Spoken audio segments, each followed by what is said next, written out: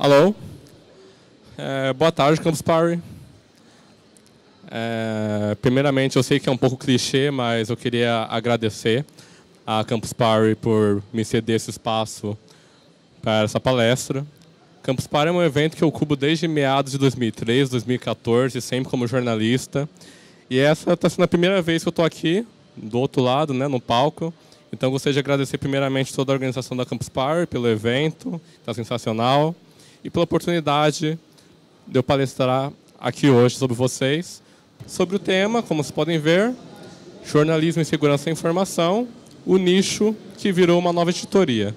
Gente, a minha palestra vai ser um pouco curta, porque eu quero deixar um bom espaço para quem quiser fazer perguntas, tá ok? Pode passar o slide. Bom, como sempre, é, eu gosto de começar as minhas palestras falando um pouco sobre quem eu sou, para quem não conhece meu trabalho. Meu nome é Ramon, eu tenho 24 anos. Essa foto é quando eu tinha cabelo comprido. Bom, bom tempos. É, eu sou autodidata e eu sou escritor, com três livros publicados atualmente. Já participei de uma sete antologias literárias, inclusive uma delas publicada em, na, em Portugal. Também sou jornalista, especializado em tecnologia e segurança da informação. Eu já passei pela redação dos maiores veículos de tecnologia do Brasil, inclusive Tecmundo, Voxel, que é especializado em jogos eletrônicos, Canaltech, Tudo Celular. E hoje eu ocupo o cargo de editor-chefe da DREC, que é uma newsletter focada. Que é uma newsletter focada. Opa, Volte, por favor. A DREC que é uma newsletter focada em segurança da informação, cultura hacker em geral, tecnologia e inovação. É, eu cuido de toda a parte editorial desse veículo de mídia. Mas, bom, indo para o que importa, afinal, o que é esse tal de jornalismo de insegurança da informação? Ou jornalismo de infosec? Ou jornalismo de cibersegurança? Ou jornalismo de cybercrime? Vocês que, que decidem que nome vocês querem dar. Basicamente a mesma coisa. Bom, eu tentei encontrar uma definição, tentei encontrar um, uma definição oficial para o que seria isso, mas eu não encontrei justamente porque, como eu disse, era um nicho, era algo que sempre existiu, mas que aos poucos está ganhando maior notoriedade, aos poucos está indo para a mídia mainstream, para mídia tradicional, e por isso ainda não existe uma definição formal e universal sobre o tema. Então, eu, criei, eu, eu me dei a liberdade de criar minha própria definição. Pode passar. Basicamente, o jornalismo InfoSec é, é a editoria responsável por educar, conscientizar e prover previsões sobre o mercado de segurança da informação, tal como auxiliar civis, o terceiro setor, ou seja, empresas, e até órgãos governamentais a se proteger contra o crime cibernético. Aí vocês falam, de novo, isso não é algo novo, realmente não é algo novo. O jornalismo de InfoSec sempre existiu, mas sempre foi algo limitado a blogs de pesquisadores independentes que publicavam suas pesquisas em em sites pequenos, em sites de baixa visibilidade, ou então em veículos especializados feitos por profissionais de jornalismo, mas que também não tinham uma grande visibilidade.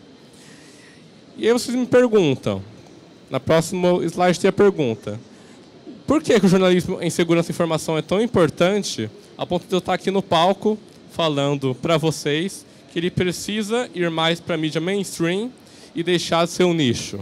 Bom, vou dar três motivos para vocês. Primeiro, hoje em dia, segurança da informação é algo que preocupa a tudo e a todos. A tudo e a todos. Calma, sem, sem spoiler, produção. Por que, que eu falo que preocupa a tudo e a todos? Porque antigamente, malware, vírus, era uma coisa que poucas pessoas se preocupavam. Por quê?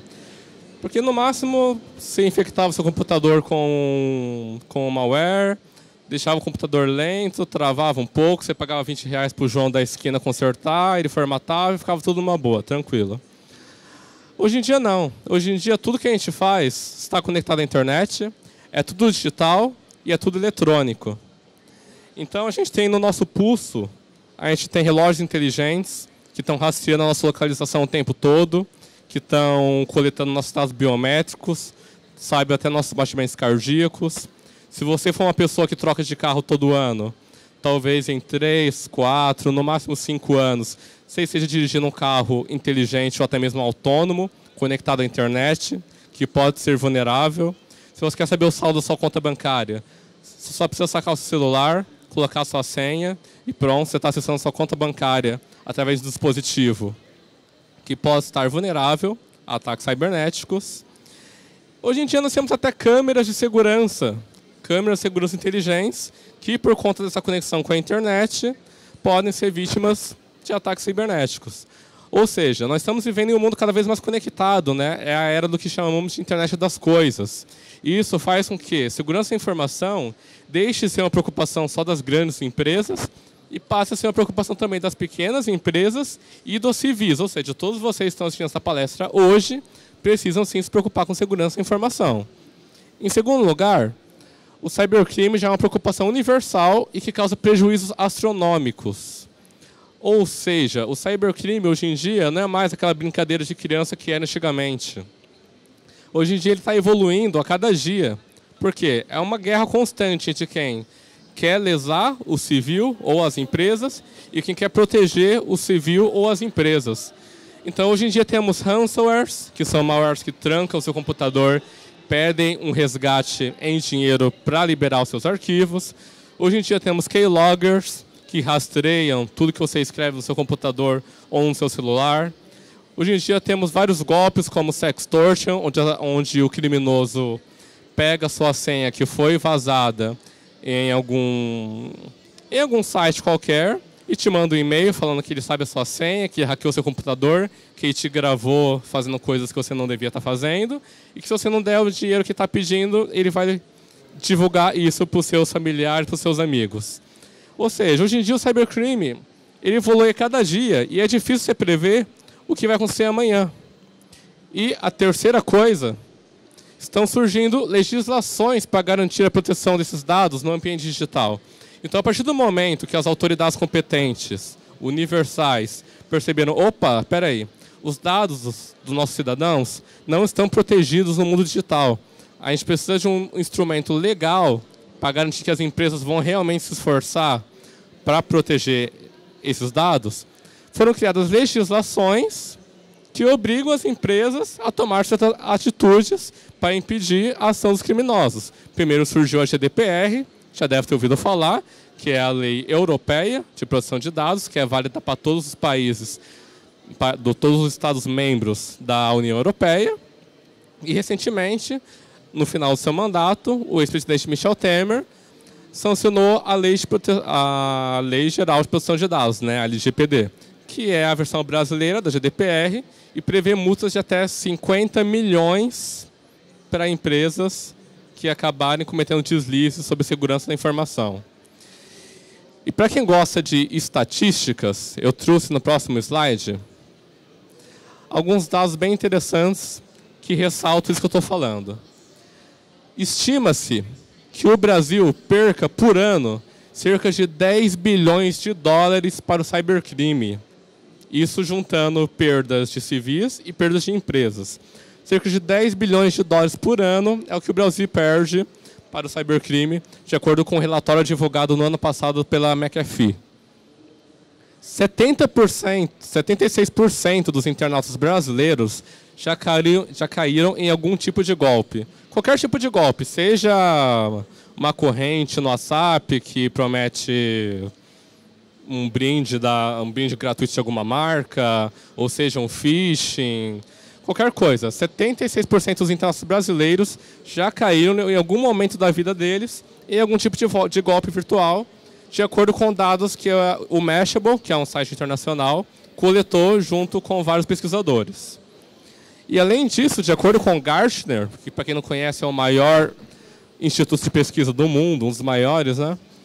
De acordo com Gartner, o mundo inteiro vai gastar nada menos do que 124 bilhões de dólares em 2019, incluindo soluções automatizadas, né, antivírus, firewalls, VPNs, incluindo treinamentos em company, campanhas de conscientização Ou seja, o que for necessário para proteger, para se proteger contra o cybercrime, o mundo inteiro vai gastar cerca de 124 bilhões de dólares ao longo deste ano.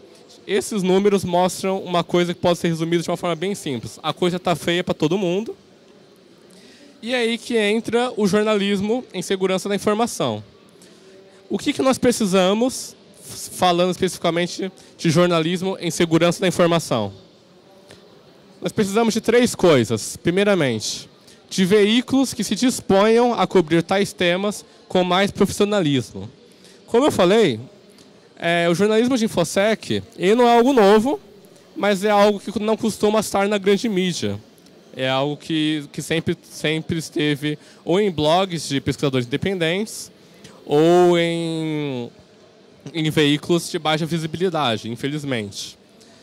Os veículos da grande mídia precisam se dispor a cobrir esse tema com mais profissionalismo, porque nas raras vezes que se dispõe a cobrir tal tema, é feito de forma leviana, o que acaba chateando não só a comunidade técnica, que acaba percebendo né, que tal tema não está sendo tratado de forma apropriada, está sendo tratado de forma superficial, e chateia também a comunidade leiga, que acaba consumindo aquele conteúdo texto, aquela matéria, aquele vídeo, aquele programa em rádio, enfim, não importa qual canal seja, acaba consumindo aquele conteúdo, mas continua não sabendo o que fazer, não, continua sem saber como aquilo afeta eles, como, né, o que eles podem fazer para se proteger, o que eles devem fazer para evitar que aquilo aconteça, como aquilo pode afetar o cotidiano deles.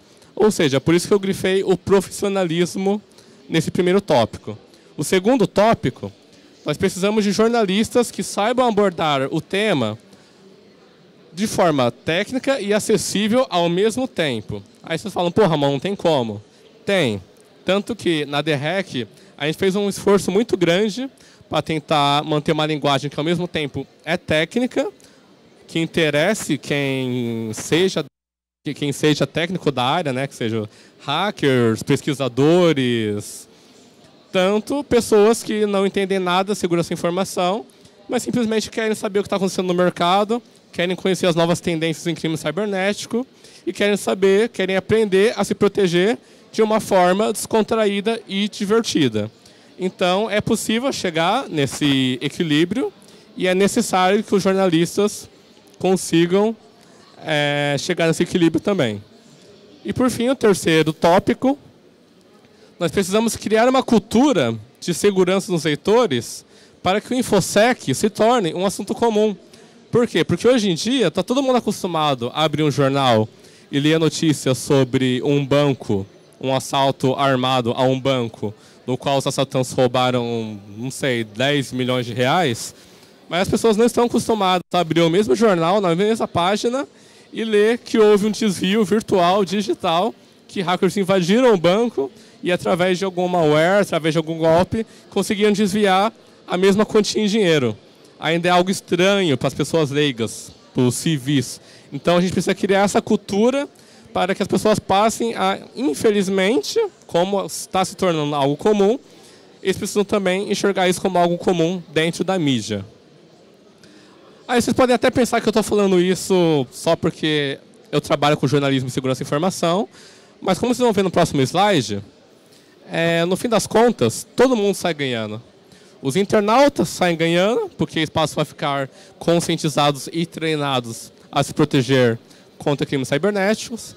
As empresas também passam a se manter conscientizadas e treinadas sobre as novas tendências em crimes cibernéticos a gente ganha uma força fiscalizadora, né? Porque o jornalismo sempre teve um papel fiscalizador. A gente ganha uma força fiscalizadora para garantir que as legislações vigentes e futuras estejam sendo cumpridas à risca. A gente ganha um canal para denunciar novas tendências de cybercrimes, né? Um canal de insiders que vão descobrir com antecedência os que os criminosos estão planejando antes que isso realmente vá para o mundo e cause algum dano efetivo a gente ganha uma cultura popular que valorize a segurança da informação como um todo e entenda a sua importância, porque hoje em dia, infelizmente, ainda tem muita gente que fala, ah, eu não tenho nada importante no meu celular, então eu não ligo para isso, não tenho nada de importante no meu computador, então eu nem preciso me preocupar com essas coisas. A gente ganha uma cultura que entende que não é bem assim. Hoje em dia todo mundo precisa se preocupar com segurança e informação. E por fim, para os veículos de mídia, eles ganham mais oportunidade de renda. Eles ganham mais oportunidade de renda. Por quê? Porque hoje em dia as empresas que, provo que provém, né, que oferecem soluções de segurança e informação, não tem um canal apropriado na mídia, não tem um espaço apropriado na mídia para se comunicar de forma publicitária com o seu público-alvo. Então, a partir do momento que mais veículos passarem a tratar esse tema com mais seriedade, a demanda, essa, essa, essa demanda que não é atendida hoje, passa a se tornar uma nova fonte de renda para o jornalismo, né? Ou seja, no fim todo mundo ganha. Aí agora, só para saber, é, eu sei que isso aqui é o palco Coders, não Journalists, mas quem aqui é jornalista ou trabalha com comunicação? Bacana. Aí, só para terminar, o que, que é preciso para ser um jornalista de InfoSec? Bom, eu separei três regras que eu considero essenciais para quem estiver interessante, quem estiver interessado em seguir essa editoria. A primeira delas parece óbvia, ser apaixonado por segurança da informação. Parece óbvia, gente, mas eu acho que não existe nenhum jornalista de esportes que não goste de futebol, não existe nenhum jornalista de política que não goste de acompanhar os debates e ficar sabendo sobre o que está tá rolando no mundo da política. Então, da mesma forma, é claro, você não precisa ser um especialista, ser um hacker, ser um técnico, mas você precisa ter gosto pela coisa, você precisa ser apaixonado por esse tema. Eu, por exemplo, não sou um técnico, não sou um especialista, não sou um hacker, mas eu, no meu tempo livre, já encontrei uma falha de segurança no painel de usuário, no painel de cliente da minha operadora de internet, no meu tempo livre. Eu fui lá, abri e só sabendo mais ou menos como a coisa funciona, eu encontrei uma falha que me permitia visualizar a nota fiscal de qualquer cliente daquela empresa. Então, você não precisa ser da área técnica, mas você precisa gostar disso, porque você vai estar noticiando, você vai estar falando disso o tempo todo. Então, você precisa ser realmente apaixonado por segurança e informação. Já a regra número 2. A regra número 2, como diria o rapper Tupac, você precisa ficar sempre atento, se manter, se manter armado e olhar ao seu redor. Aí você fala, pô, Ramon, você tá falando pra gente sair de casa e ir pra redação com uma Glock na cintura? Não, não exatamente. Se vocês quiserem, vocês podem, mas não vou julgar vocês, mas não exatamente. O que eu quero dizer é, o jornalista de InfoSec, pode passar a próxima, o jornalista de InfoSec precisa saber o básico de segurança digital pessoal. Por quê? Você tem que entender que basicamente vai ter um cara malvado de um lado, vai ter um cara bonzinho do outro, é, o cara malvado vai tentar roubar dinheiro do cara bonzinho e você vai estar lá no meio desse tiroteio virtual tentando mostrar isso para o público. Gente, um jornalista de guerra, um jornalista que cobre o cotidiano, quando ele vai cobrir um conflito armado, um tiroteio, o que, que ele veste? Um colete à prova de balas. Porque ele sabe que não tem nada a ver com nenhum dos lados do conflito, mas ele pode ser alvejado. O que, que é o colete à prova de balas do jornalista de InfoSec? Criptografia, plataformas é, adequadas de comunicação. Tem gente que acha que pode ser jornalista de InfoSec trocando um documento secreto por WhatsApp, por Facebook, ou então que vai entrar na Deep Web pelo Google Chrome e vai descobrir um bafão lá. Não é assim que funciona, pessoal. Então vocês têm que saber o básico de, de higiene digital pessoal. Então, saber fazer usar senhas fortes com 11, 12, 13 dígitos ou mais, misturando letras, números, símbolos especiais, usando gerenciadores de senhas, usando uma VPN, usando plataformas é, adequadas para se comunicar com as suas fontes. E lembrando que, sim, se você vai trabalhar com, esse, com essa editoria, você provavelmente vai sofrer ameaças e provavelmente vai, vão tentar te atacar. Eu mesmo já fiquei trancado em casa durante uma semana, de tanto receber ameaça de morte depois de publicar uma reportagem sobre segurança da informação. Isso é algo normal, se acostumem. E por fim, a regra número 3, não se esquecer dos pilares do jornalismo, porque a gente está falando de uma editoria nova, mas continua sendo jornalismo. Então, sempre vão existir algumas questões éticas, como ah, a empresa que é minha patrocinadora sofreu um vazamento de dados enorme que afetou muitas pessoas. Eu devo noticiar isso ou não? Cara, se vocês me perguntarem, eu sinceramente não vou saber responder. Por quê? Porque isso depende da postura editorial do seu veículo, do jornalista, depende de discussões éticas internas de cada veículo, de cada mídia. Então não existe uma regra universal. Mas é claro, você tem que sempre, sempre manter em mente que a postura profissional do jornalista precisa se manter a mesma. Vocês vão, vocês vão continuar recebendo ligações de advogados ameaçando sobre determinado coisa que você descobriu, mas as regras que vocês estão acostumados, com quem trabalha com mídia está acostumado, precisam se manter as mesmas. Bom, a minha palestra era essa. Aqui eu deixei os meus contatos para quem quiser me contatar. Tem meu contato particular, o meu contato profissional, o meu Twitter e aqui o site da DREC, para quem não conhece, pode ir lá, ir lá visitar o site, se inscrever para receber a newsletter. Eu gostaria de agradecer muito a quem acompanha a palestra até o final e abrir para perguntas, caso alguém queira fazer alguma questão. Obrigado.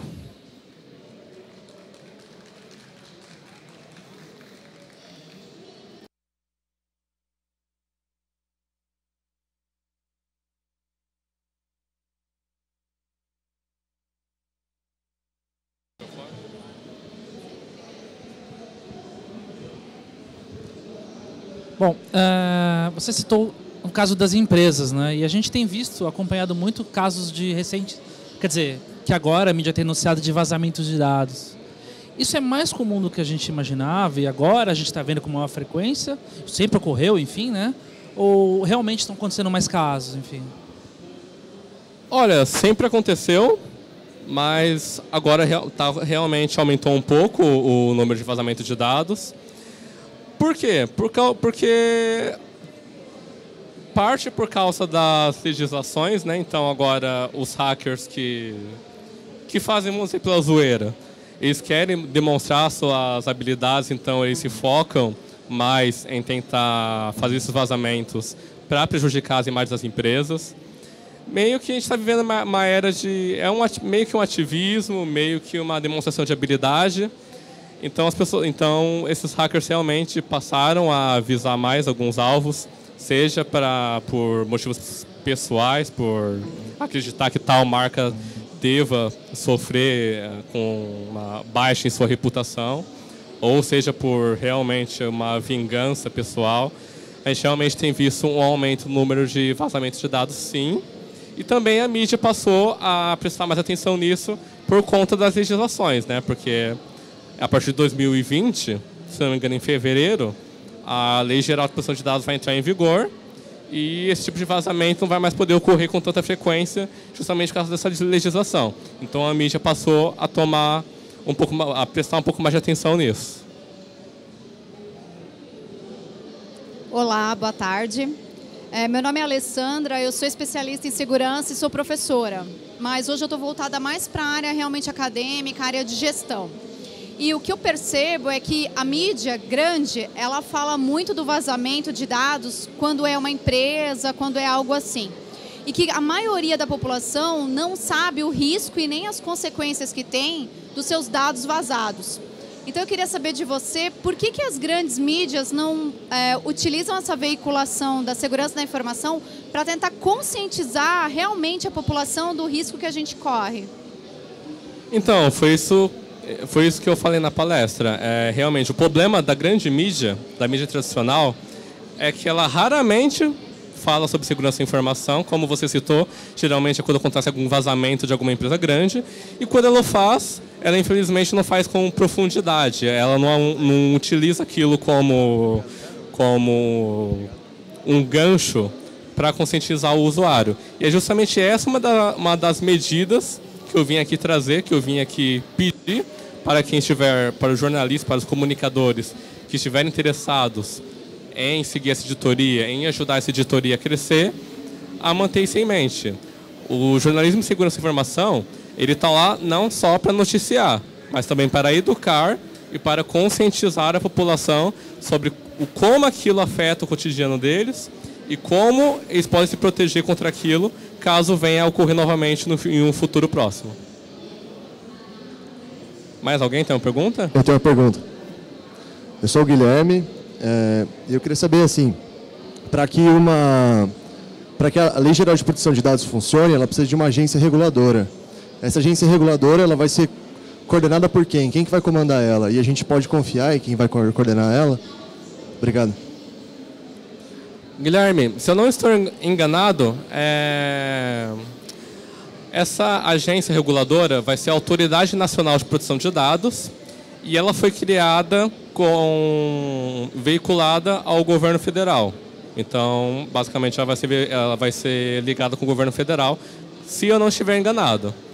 E, a partir desse momento que a lei entrar em vigor, será necessário, inclusive, que as empresas tenham um executivo que vai fazer, vai servir como ponte entre a empresa e essa autoridade para garantir que a empresa cumpra com as melhores práticas de segurança da informação, para garantir um compliance com as regras descritas na Lei Geral de Proteção de Dados. E, caso mesmo assim venha ocorrer algum vazamento de dados, algum incidente cibernético, é, vai ser esse executivo, que é o Data Protection Officer, né, o DPO, que a gente chama. Vai ser esse executivo que vai servir como ponte de comunicação entre a empresa e a Autoridade Nacional de Proteção de Dados. Alguém tem mais alguma pergunta? Aqui. Boa tarde, uh, sou Elcio Monteiro. Uh, vê só, é, é, um posicionamento meu. Eu acredito que essa questão das grandes mídias, elas não divulgarem tanto esses vazamentos de informação de grandes empresas, a exemplo as instituições financeiras, uh, vem também da, da, da, grande questão que essas mesmas empresas estão ligadas no, no, no, no segmento publicitário também daquela grande mídia. Então ela banca também aquela grande mídia. Então, eu acredito que, na maioria das vezes, quando, quando vaza essas informações de empresas que são uh, fora do país, uh, empresas que não fazem parte daquele circuito ali publicitário da mídia, tudo bem, a mídia coloca para frente. Mas quando faz parte uma instituição financeira, uma instituição de banco, isso prejudica diretamente ao banco a, a essa notícia e a imprensa, e, e essa notícia e a público. E isso pode causar um prejuízo financeiro grande também para a empresa, para a mídia. E isso acho que quando se pesa, a galera fica meio que bloqueando, um setor bloqueando o outro e acaba dessa forma. Então, o que se precisa, eu acredito que é esse o teu foco também, essa coisa da, da, da imprensa alternativa ou independente, digamos assim, focar mais nesse assunto, pegar mais nesse assunto, porque se formos esperar das grandes mídias, de fato, que está aí na TV aberta, eu acho que vai ser muito difícil nós darmos passos avante enquanto forem diretamente ligadas à linha de, de, da publicidade, enquanto dependerem totalmente dessa linha. É, só falando, eu concordo realmente com o que você falou, faz todo sentido do mundo. E realmente, como eu falei, é meio que uma batalha entre dinheiro e ética jornalística, né? Que acaba acontecendo, né? Ah, um patrocinador meu ou um, um, uma marca que, que com frequência faz publicidade no, na, no meu canal teve um vazamento de dados. O que, que eu devo fazer? Devo preservar o meu patrocínio ou devo ajudar o meu público, os civis, que é o meu dever ético como profissional jornalista, né? É isso que acontece realmente na grande mídia e até alguns veículos pequenos. E como eu falei, não tem nenhum, não tem, não existe uma resposta universal para essa questão, né? Isso depende da postura e do, de discussões internas do jornalista e da organização midiática em questão. Mais alguma pergunta? Alguém? Aqui, por favor. Olá. É, meu nome é Paulo, eu trabalho na área de segurança de informação de uma empresa grande. E eu entendi, concordo totalmente com a sua sugestão da, dos jornalistas se preocuparem mais com a questão do, da divulgação de segurança da informação. Mas eu queria saber o que, que você pensa, qual a sugestão que você dá para quem quer fazer o caminho contrário.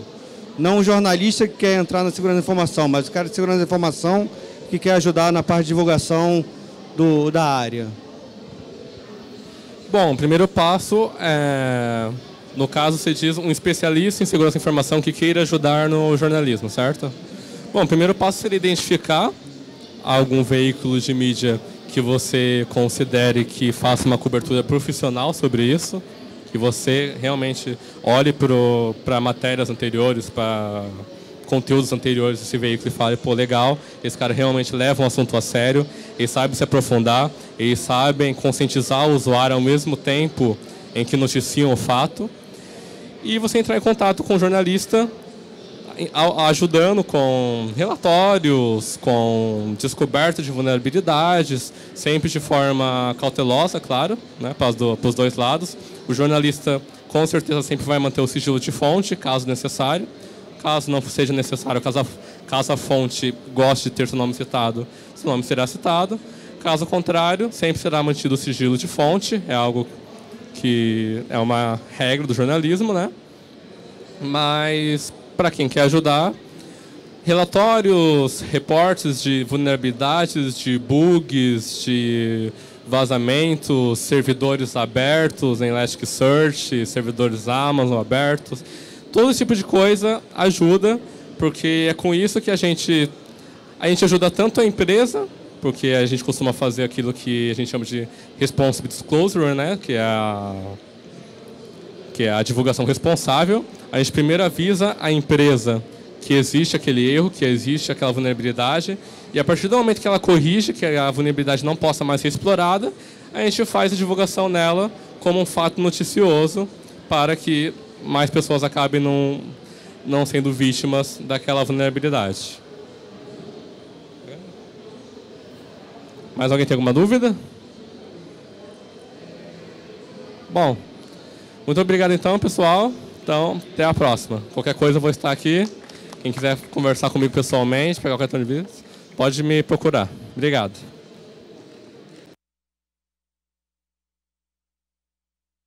O que faz de Smartwater uma escolha tão inteligente? Tudo começa com uma pequena inspiração nas nuvens. A fonte mais